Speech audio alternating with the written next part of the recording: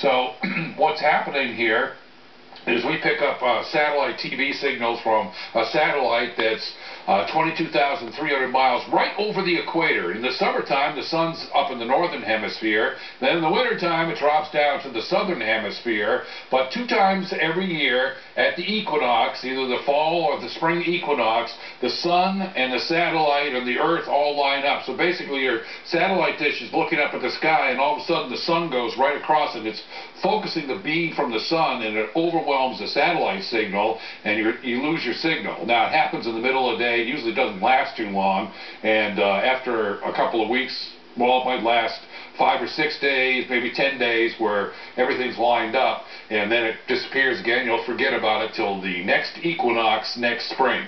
And by the way, if you have cable, they pick up a lot of their uh, TV transmissions on satellites too. So just because you have cable doesn't mean that it's not going to happen there as well. This is